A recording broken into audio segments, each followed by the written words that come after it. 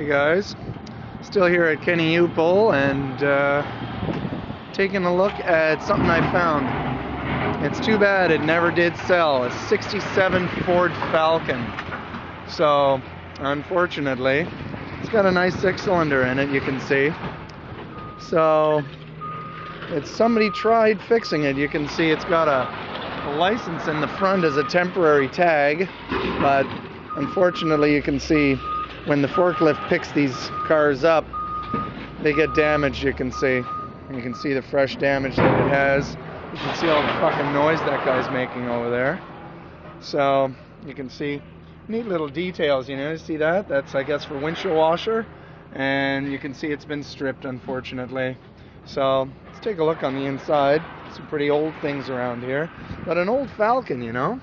Unfortunately, somebody's raped the interior. So, you know, old funnels and things like that. You know, back seat, nothing special. This was based upon a Mustang. You can see nice headrest, as you can see. They're not even, you know, invented yet. So, pretty neat little thing, but again, been somewhere in a field for a long, long time. You can see the moss and the mold and the dirt. But love it. Look at the nice round tail lights. You can see the keys are still in it. Look at all these, eh?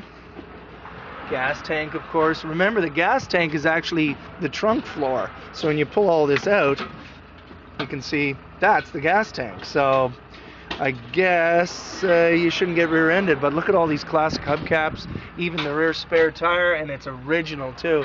Somebody unfortunately walked away from this. Why couldn't they sell it for 300 bucks? Why'd they have to give it to charity and now it's ruined you know so original. It still has the original floors and original seats. You can see the carburetor, the uh, intake.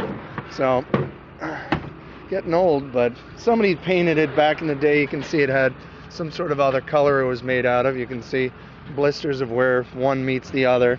So, it's a real shame to be able to see them strip this old Falcon for parts here at Kenny U-Pull. See you guys.